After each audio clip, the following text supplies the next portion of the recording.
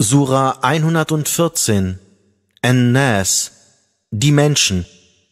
Offenbart zu Mekka sechs Ayat. Im Namen Allahs des Al-Abarmas des Barmherzigen.